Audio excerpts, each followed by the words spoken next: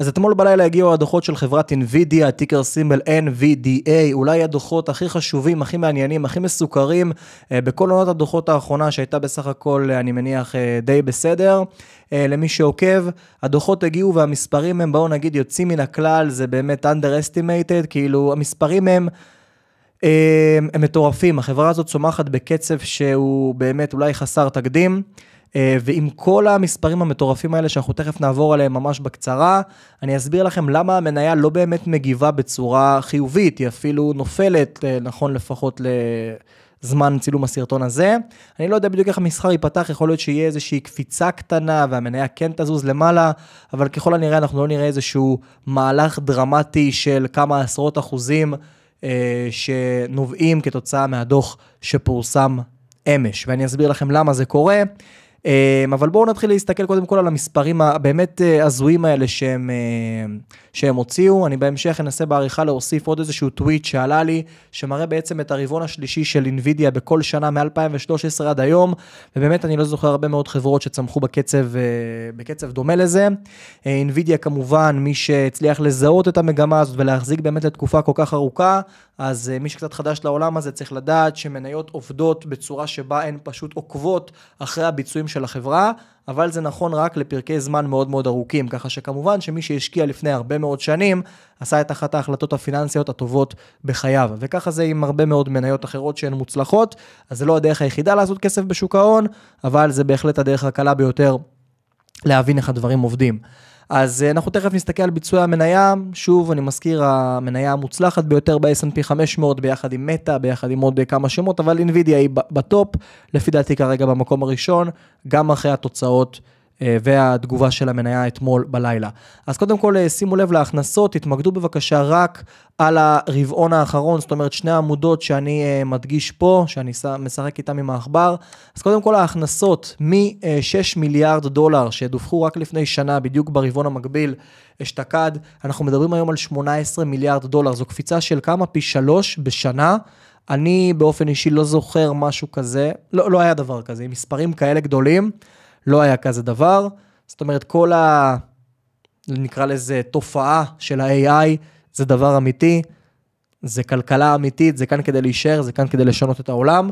והאמת, תודה רבה לאינווידיה ולעוד כמה חברות כאלה שהן תפסו את הבאז סביב ה-AI, כי בלעדיהן היה לנו עוד שנה מאוד מאוד בינונית ומשעממת ואפורה בשוק ההון, כי אתם יודעים, רוב המניות ב-S&P לא עשו את השנה הכי טובה שלהן, כן? רק לאחרונה אנחנו רואים התאוששות קלה בכמה מניות, אבל אוקיי, בכל אופן, העלות מכר, כן, ה-cost of revenue, אה, אומנם עלה, אבל הוא לא עלה פי שלוש, מה שאומר שגם הרווח הגולמי קפץ מ-3.1 מיליארד דולר לכיוון ה-13.4 מיליארד דולר. חבר'ה, זו קפיצה מטורפת. הרווח הגולמי כתוצאה מכל זה עלה מ-600 מיליון דולר ל-10.4 מיליארד דולר. אם אנחנו רוצים לחשב את שולי הרווח הגולמי, אז אנחנו יכולים אה, כמובן לעשות חישוב מאוד מאוד קל, ובעצם לקחת את המספר שאותו אנחנו קיבלנו עכשיו, שזה בעצם 10, 400 בעיגול, ונחלק אותו בהכנסות כולן, שזה 18, 100 נגיד, ואנחנו מקבלים 0.57, מי שרוצה שיהיה לו יותר קל מכפיל את זה ב-100, וזה אומר שאנחנו מקבלים שולי רווח שהם למעלה מ-57 אחוזים. זה פשוט משוגע. אבל זה גם שם את החברה באיזשהו מצב טיפה בעייתי, כי אולי מעכשיו זה הסטנדרט, ולשמר את זה לאורך תקופה ארוכה, יהיה מאוד מאוד קשה. למשל פייסבוק, מייקרוסופט, אלה חברות עם שולי רווח מאוד גבוהים, גם גוגל, ושם זה תמיד נע בין 30 ל-40 אחוז ביום טוב. פה אנחנו מדברים על כמעט 60 אחוז, זה אפילו יותר מוויזה ומאסטר קארד.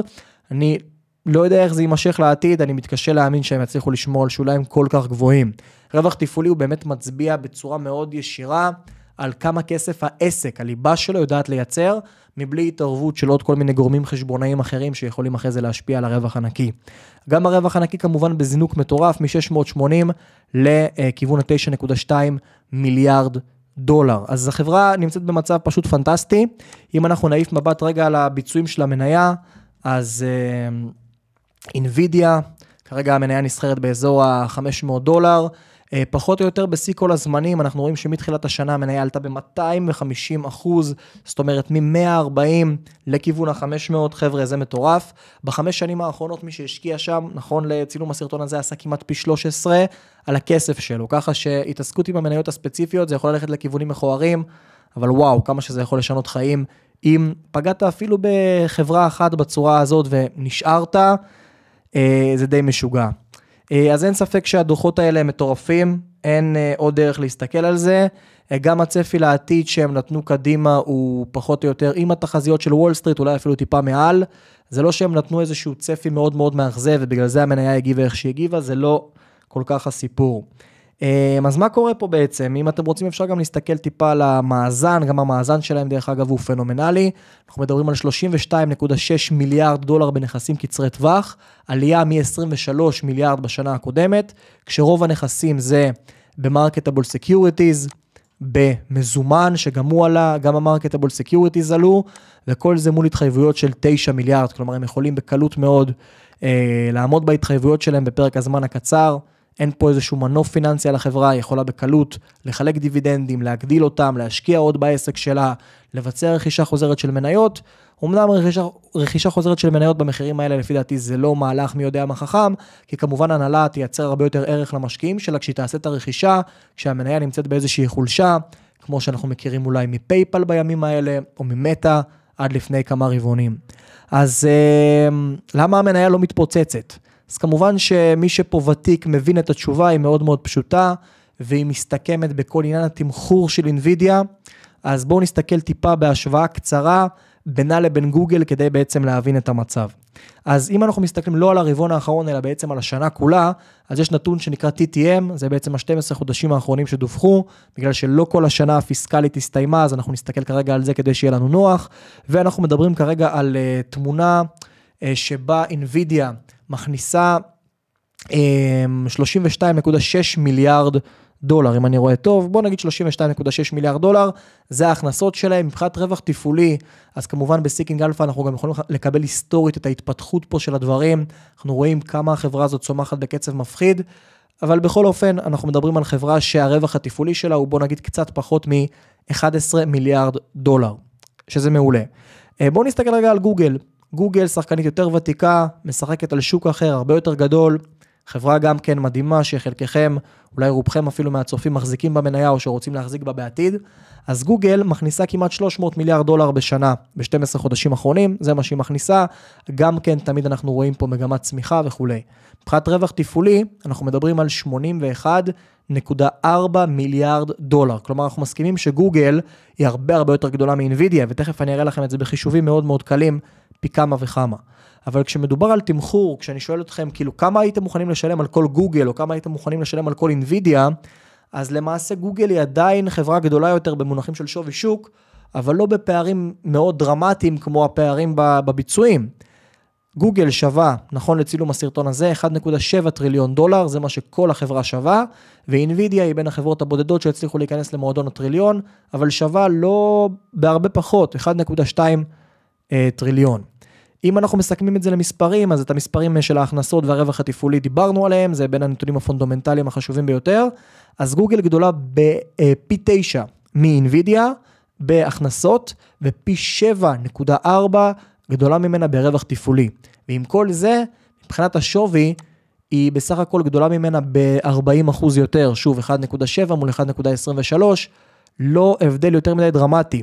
כמו שתבואו לחנות ואני אגיד לכם בואו תוסיפו עוד 40 אחוז למחיר שלכם, בואו במקום 100 תשלמו 140, אבל תקבלו סחורה בפי, בואו נגיד, בפי 8 בממוצע, יותר ממה שאספתם כרגע ב...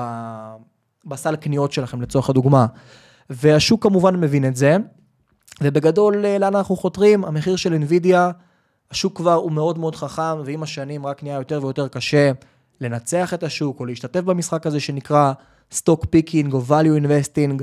ובעצם השוק היה מודע לזה שהדוחות שהולכים להגיע הולכים להיות דוחות מצוינים. NVIDIA, אם אני לא טועה, הכו את התחזיות בשני מיליארד דולר. כלומר, אנליסטים ציפו למשהו, NVIDIA עשו שני מיליארד דולר יותר, זה כאילו לשבור את התחזיות בכמה עשרות אחוזים יותר. זה משהו שהוא חסר תקדים. ועם כל זה, המניה לא שהיא לא מתפוצצת בצורה מטורפת, היא אפילו נכון למה שאני יודע עכשיו, יורדת בצורה קלה. וזה אומר שלשוק יש הרבה הרבה מאוד ציפיות מחברת NVIDIA. זה שהיא מצוינת, אין לאף אחד אה, ויכוח על זה, התוצאות מדהימות, אבל הציפיות הן יותר מדי גבוהות, ובתור משקיעי ערך, בתור אנשים שמתעסקים אה, בהשקעות, בבחירת מניות, אנחנו לא רוצים לשים את עצמנו במצב שיש לחברה המון המון המון המון מה להוכיח, ולנו יש מעט מאוד מה להרוויח במידה והם יוכיחו את זה. זה מצב שאנחנו לא רוצים להיות בו. אה, לפי סרטון אחר באנגלית שאני ראיתי מהבוקר, אז אה, סרטון של אתר, אה, של ערוץ יוטיוב יותר נכון, גדול מאוד. אני לא מעריץ גדול שלהם, של Everything Money, אבל הם עושים איזשהו חישוב מאוד מאוד בסיסי, באיזשהו מחשבון תשואה שהם בנו, או מחשבון הערכות שווי שהם בנו, והם הגיעו למסקנה שאינווידיה צריכה לצמוח בעשר שנים הקרובות ב-30 שזה מאוד מאוד מאוד קשה, רק על מנת להצדיק את המחיר היום. זאת אומרת, להצדיק את המחיר היום זה לעשות פחות או יותר את תשואת השוק בין 7 ל-10 אחוזים. וכדי להצדיק את זה, הם צריכים לצמוח ב-30%. אז תנסו לחשוב לעצמכם מה היה קורה אם NVIDIA היו מפספסים בתוצאות, או מביאים רק את מה שהאנליסטים ציפו. כנראה שהמניה היום הייתה נופלת בצורה מאוד מאוד דרמטית. זה מצב שבו אנחנו בתור משקיעים לא רוצים להיות. אנחנו רוצים כן להשקיע בחברות נהדרות, אבל לא שהמחיר הוא כל כך גבוה, שיש לנו המון המון מה להפסיד. אנחנו רוצים להיות במצב כזה, בדיוק כמו שאיפה שפייסבוק היו לפני שנה, שנה וחצי, זה היה האידיאל. אני לא אומר שזה יחזור על עצמו הזדמנות כזאת כל כך מהר, מי שניצל את זה ניצל, אבל זה מצב שאתם משקיעים גם בעסק נהדר, אבל קונים אותו באיזושהי חולשה, תחת כותרות נוראיות, מכפיל תזרים של 6-7, משהו באמת מטורף, ואז החברה, גם אם היא מביאה תוצאות פושרות, ועדיין הדוחות שלהם בסוג של בלאגן, פתאום אתם עושים גם כן 200% תשואה בשנה, כי קניתם במחיר הנכון. אז להערכות שווי יש המון המון אה, חשיבות בתוך כל המסע שלכם בעולם ההשקעות. אה, אני השקתי עכשיו, אה, ממש דיברתי על זה בקטנה באינסטגרם שלי, אתם מוזמנים לעקוב אחריי שם. אה, קורס קצר, מזורז מאוד של חמישה מפגשים, חמש שעות בעצם באחד על אחד איתי, שמיועדות לאנשים שהם כבר בתוך העולם הזה של ההשקעות. גם אם יש לכם קצת ניסיון, הקורס הזה הוא גם במחיר פשוט בדיחה. הוא יעשה לכם סדר, הוא ייתן לכם אפשרות גם לשאול שאלות, כי הכל אה, בתיאום מולי, בלייב, בשיעורים בזום שאנחנו עושים, והקורס הזה הוא ממוקד נטו להערכות שווי. אנחנו נעשה הרבה מאוד דוגמאות בתוך הזמן שמוקצב לנו, אנחנו נעשה שיעור בסיסי על הדוחות הכספיים כדי שתהיה לנו את השפה המשותפת, ואז אנחנו נעבור לעוד ארבע שעות של הערכות שווי בכל מיני סגנונות, בכל מיני שיטות, זאת אומרת אנחנו נעשה הערכה על ארבע חברות, ואז מה שאתם יכולים לעשות זה לקחת את הידע הזה וליישם אותו על החברות שאתם משקיעים עכשיו, או על חברות שאתם רוצים להשקיע.